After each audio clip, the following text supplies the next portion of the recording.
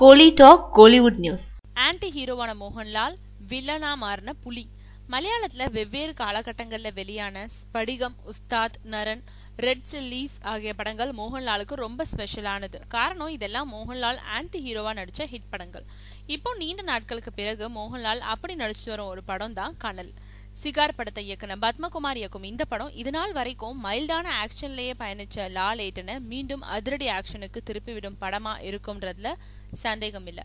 இந்த படத்தோட படப்பிடிப்பு முடிவடைஞ்சு இப்ப படத்தோட ஃபர்ஸ்ட் லுக் மோஷன் போஸ்டர் வெளியாக இருக்கு. இன்னொரு பக்கம் மோகன்லால் நடிக்கும் இன்னொரு வித்தியாசமான படமா புலிமுருகன் தயாராகிட்டு இருக்கு. அடர்ந்த கேரளா காட்டுக்குள்ள நடக்கும் இந்த படத்தோட படப்பிடிப்புல தான் இப்போ மோகன்லால் நடிச்சிட்டு இருக்காரு. இந்த படத்துல காட்டிலாக்கா அதிகாரியா தமிழ் நடிகர் கிஷோர் நடிச்சாலும் கூட படத்துல வில்லனா நடிக்கிறது என்னவோ புலிதானா?